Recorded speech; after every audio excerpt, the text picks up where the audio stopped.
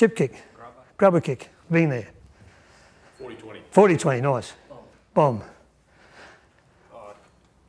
Doesn't matter. Give another skill. Uh, Tackle. Nice tackle. Good boy. Tackle. Good. Yes. block tackle. Block tackle. Legs. Legs tackle. Uh, covering tackle. Covering tackle. Uh, dominating. Tackle. Dominating tackle. Another skill. High tackle. Another skill. Usually beautiful. See? Hippie brothers. evasion. Yes, good. Types of evasion. Step. Step. Swerve. Doesn't matter. We're going. You get the bit of handle that, don't you? Now, if you think about the skills of our games, we're, we're going to teach skills. There's a million of them. Does that make some sense? Righto. The really crucial thing about that is, is you need to know your skills. To know the skill is really important. Not the name of it, but actually to know the skill is really important. And there's a, there's a movie called Lock, Stock and Smoking Barrels. That one? You know the movie? Again, this will be on TV again. Fantastic line in that movie. One of the things I really enjoy. There's a, there, there, those who don't know the movie, it's a gangster movie, comedy gangster movie, and they're preparing a heist, you know, rob some jewels or something like that. Anyway, one of the blokes comes back, and, and the boss says, Well, what about that? And he says, Well, I assume that that. You what? I assume that. And his quote is, uh, Assumption is the mother of all fuck ups. So you can't assume anything. Understand that? So here's a little exercise. With the guy beside you or the person beside you, I want you to uh, do this for me. I want you to write down the three dot points for uh, standing up from that very comfortable chair you got. Here's a skill of standing up from the chair you've got. What are the three dot points about the skill of standing up from there? Talk to the next person beside you. What are the three dot points about that skill? How do you, how do you get out of that chair?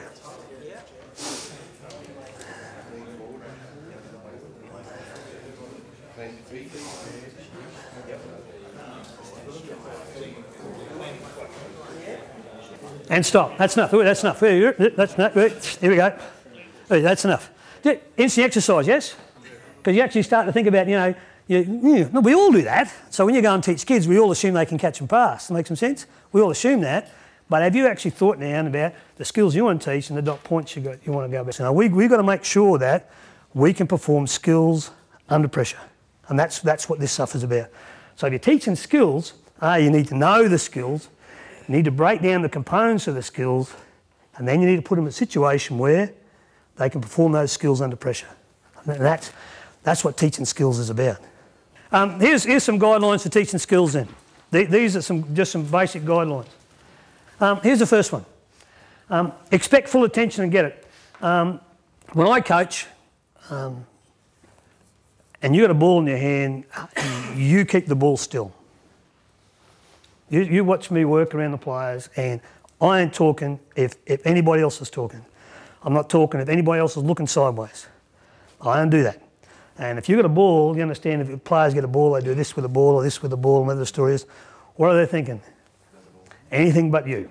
Anything but you. So, when I talk with group kids and you know, work on camps, work on my own team, whatever the story is, you've got the ball between your feet, or you're really disciplined just to actually hold the ball. Now, I'm not sort of thing I'm thinking, gee, I'm holding the ball really good here all the time while he's talking, but that, that, that, suit, that suits me. I don't expect full attention and get it. I won't, I won't talk unless I've got that. And I can't compete with the aeroplanes or the pretty girls or the music or something, so I don't try. Um, so there's number one. Next little one here is this is this is a trap. This is us coaching again, and I'll make another reference about this. Is um, we talk too much uh, about providing insight and, and why, but sometimes you need to do that. We're going to do this because, and then, then we're going on with life as quickly as we possibly can. But some insight sometimes helps with that stuff rather than, uh, than doing it. Next little part about this is that whatever skills you're teaching now, if you do one skill at a time, is, is really important. And then, even more important, is a little subset underneath that is that you actually do one part of a skill at a time. Just, I just talked to you about this. If I ask you about swimming, um, who, who can swim breaststroke legally? So you're in a swimming pool and can swim breaststroke legally because you get your two feet going the right way and you get your arms going that way. Can you do that? Who, and I'm not just not being critical, it's really, uh, it's really common. Who, who's got one foot that goes right way and the other foot goes the wrong way? No, you understand what I'm saying? Yeah, well, that's what happens anyway. Like it's, it's like breaststroke is a symmetrical stroke and you, and you kick with your feet and your feet have got to be symmetrical. What happens with lots of people when they swim is they'll have one foot will go nice like that, but the other one will get a sort of a side stroke kick into it and go that way. So it gets, gets a bit of a side stroke. So um, the thing about that is if you're going to, if you're going to teach breaststroke, there's a whole host of things you've got to teach, but one of them is a kick. And so you actually got to teach the kick and get the kick right before you worry about something else and something else and something else. Does that make a bit of sense? And so what you're doing is you need to get the kick right. So if in breaststroke that's a skill we're trying to do, but we need to get that part right.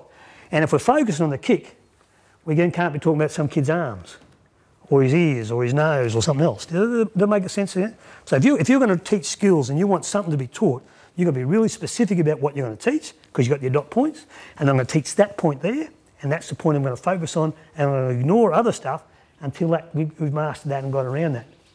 Once we've done point one and dot two and dot three and we're going to dot four, that's your focus. Sometimes you can go back and touch on those because they should be, do, be able to do those because we've covered those dots. But now we get to dot four, we should be able, we should be able to focus hardest on that.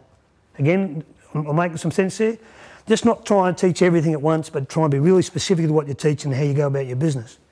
So, and then one part of a skill at a time. Um, the next little thing is practice. Um, practice makes perfect, yes? Perfect practice makes what? Permanent. That's what practice does. Practice makes permanent. Um, what you need to do is make sure the things you practice are good because you're actually putting things in a muscle memory. And the harder it is, the longer you, the longer you breaststroke kick with one leg like that and the other one goes a bit funny, the harder it is to make both feet go the same way. The harder it is. So what practice does is practice makes permanent. The wonderful thing about it is that practice makes permanent. Because the more you practice, the more likely it is to stand up under pressure of a game situation. So it is vital to practice and practice, not just do something once and think that's done, because it's not. We need to practice and revise and revisit and go back and get a bit of Irish logic about it. So as we do this thing a thousand times not become bored. Does that make a bit of sense as well? So, you know, practicing is really important what you do. And, and this, is, this is really crucial is you need to practice left and right. Uh, you know, some of our games, skills you'll do, and, and you'll practice left shoulder and you'll practice right shoulder defensively. You'll pass, practice, practice passing to your left, you'll, pass, you'll practice passing to your right. You can't, you can't not do those things. They're, they're, they're crucial about how you go about your business. Uh, and your good players, your really good players, will kick left and right. Um, you know, you, you can't play Aussie rules, can you, without being able to kick left foot and right foot. So, you know, we don't kick well enough sometimes. We don't practice, we don't practice all our skills enough, and kicking is one that, that, that we suffer a bit of. Um, but practicing left and right is a really important thing. This is, this is running a drill. This comes out of um, Brian Canavan. This is Brian Canavan. His, his theory about this was um, to, uh, to run a drill or run an activity, the, the first thing you need to have first up is group organisation. What does that mean? Yep. Who's doing the drill? Who's doing the drill? Yep. You know, you need to have the markers out.